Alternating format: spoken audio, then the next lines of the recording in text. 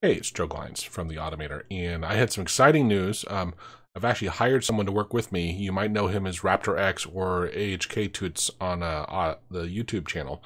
Uh, he, he's an amazing programmer. He does uh, great tutorials, and we're actually teaming up. And he's gonna be working with me. And we're gonna be our one of the things we're doing is we're gonna be creating a lot of AutoHotkey courses and just courses in general. And I put together a short survey because what we want to make, you know, the, the courses that are the hottest and of most interest to the most number of people, right? To help uh, as many people as we can. So I have a short survey. It should take you maybe a minute and a half, maybe two minutes at the most. Um, we're going to give away uh, for five different people. They're going to have a chance to win the course of whichever one. Of course, once we create it, not before, but um, they have a chance to win the course. But yeah, it's it's a really quick survey, and it's a little bit about where you get information just to help us understand where we, where we should be marketing things, but also you know like which courses should we start on first. So uh, please take the survey. I'll put the link somewhere up in here and in the description of this video.